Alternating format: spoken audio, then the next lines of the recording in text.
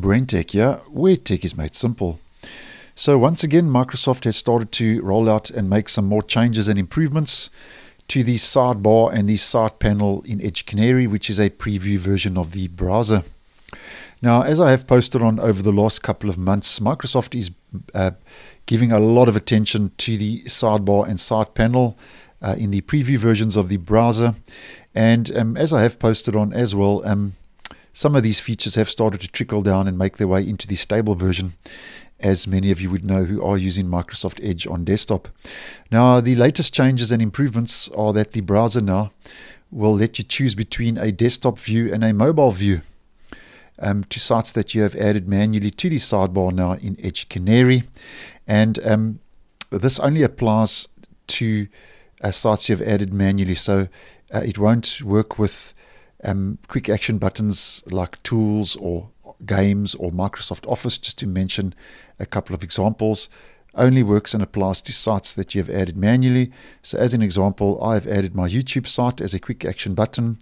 And when I open up that in the side panel now and we head to the top to the three dotted menu, you will see that there are a couple of new options now.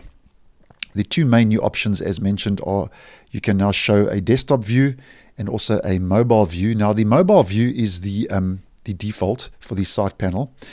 Um, but also, just to uh, bring your attention to uh, two other little minor changes they've made here, is that you now can copy link and you can also disable touch mode when in the mobile view. So um, that's obviously for touchscreen devices. So um, if we change it to show desktop view, you can see the layout now for that site changes um, in the side panel. And just to give you a better example, if I just resize that side panel, you can see it looks more like the desktop view, the normal standard desktop view.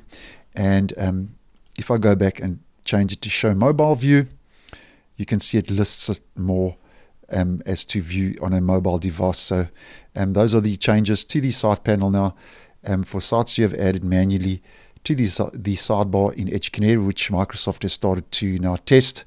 And that's having the choice to change between desktop and mobile views, and then those other two options to disable touch mode um, in mobile view, and then also copy link. So thanks for watching, and I will see you in the next one.